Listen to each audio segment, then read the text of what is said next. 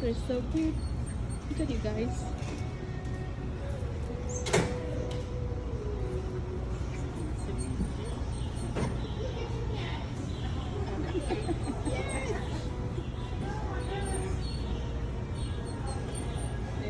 Thank you.